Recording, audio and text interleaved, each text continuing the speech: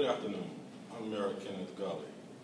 And unfortunately, we have received on social media what we feel are very credible threats against the city of Bessemer.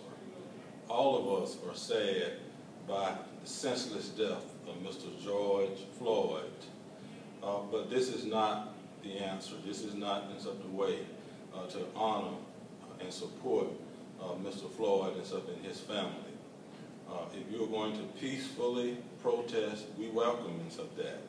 But what we will not tolerate is people coming into our city to incite riots and destroy our businesses in this city.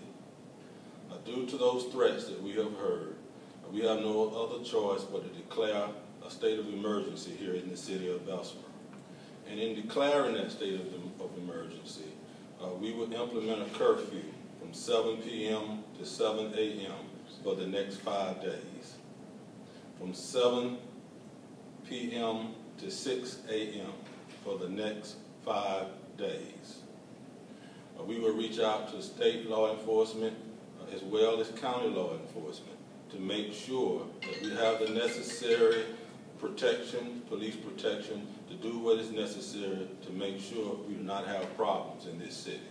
At this time, I'm going to have our Chief Roper say a few words. Good afternoon. I'm Chief Michael Roper with the Bessemer Police Department. I just want to piggyback on what the mayor said. There's a right way and there's a wrong way to do things.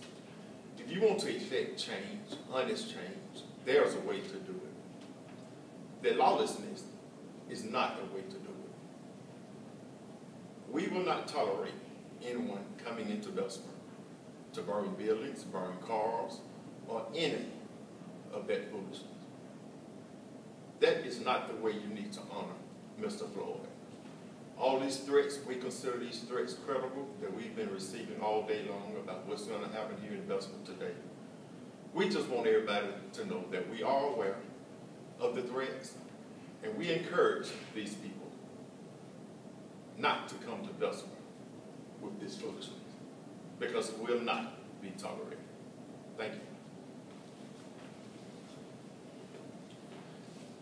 As I already stated, peaceful protest is good. Uh, we all were shocked to see the senseless death of Mr. George Floyd.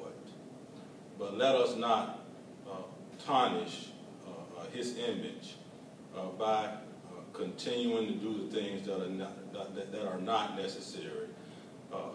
looting, destroying property has nothing to do with Mr. Floyd's death. So let us make sure that we do, the thing, do things the correct way and continue uh, to honor and pray for the Floyd family. Thank you.